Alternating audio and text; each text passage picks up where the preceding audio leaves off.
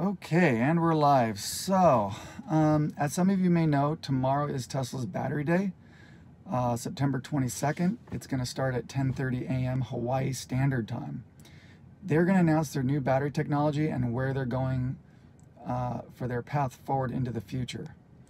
Um, so, I'm going to make some predictions, and tomorrow after the announcement, I'll make another video and review what they actually announce. So, here are my predictions. First, I think that they're going to announce the manufacturing lines of a new cell based on a technology they bought from Maxwell. Uh, it's called the dry electrode technology. This is going to allow a larger format cell. I think it's going to be safe, non-flammable, uh, with much higher charge and discharge rates.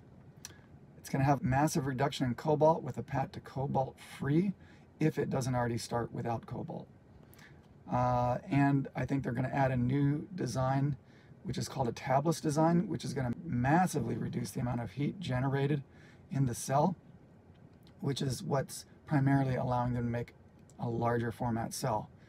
Um, I think that the packs are going to start somewhere between, at least in the vehicles, between 300 and 350 watt hours per kilogram just to start and I think they're going to be manufacturing at a much higher rate per kilowatt hour.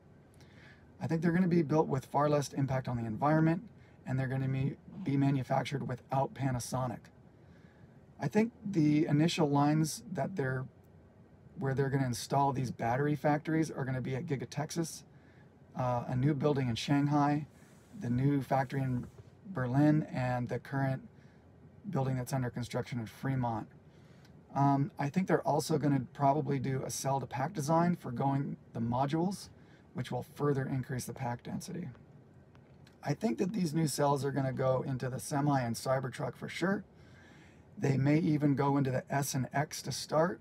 And if they do, those vehicles would go from five, you know, instead of 400 miles of range to between five and 600 miles of range. I think they're probably going to announce a Model S plaid version at the event as well. I don't think the Model 3 and the Model Y are going to get that new dry battery electrode technology and these new cells. Instead, I think they're going to get an updated 2170 cell from Panasonic with an improved energy density, but it'll be a small improvement. Um, I think the Y will get a small bump in range because of it, and I think the 3 will get an additional bump in range from that cell and a more efficient heat pump and octovalve that's currently found in the Model Y. Uh, the Powerwall. Uh, I, I can't imagine them not announcing an updated Powerwall since it is battery day. I think they'll probably call it the Powerwall 3. And I think they'll probably bump the built-in inverter from 5 kilowatts to either 6 or 7.6 kilowatts.